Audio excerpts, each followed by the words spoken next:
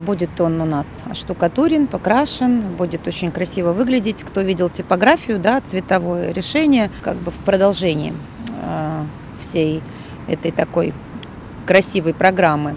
А вот буквально здесь вот на стеклянной лестнице у нас э, будут заменены витражи.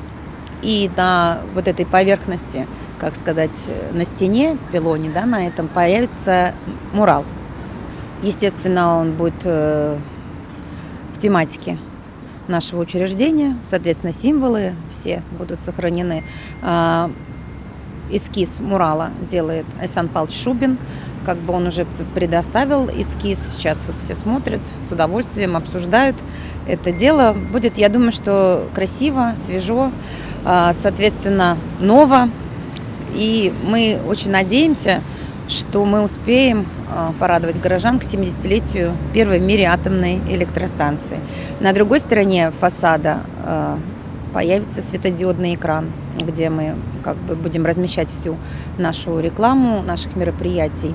А, вот буквально на этой неделе аукцион будет проходить, мы узнаем, кто будет подрядчик, проект сделан. На парапете здания появится надпись «Городской дворец культуры». Точно так же проект закончен, мы будем выходить на торги, и уже в начале апреля мы поймем, кто будет выполнять эти работы. Надпись на фасаде будет подсвечиваться в темное время суток. Дизайн согласован с управлением архитектуры. Фасад обновят на всем здании, включая ту часть, на которой расположен флагшток.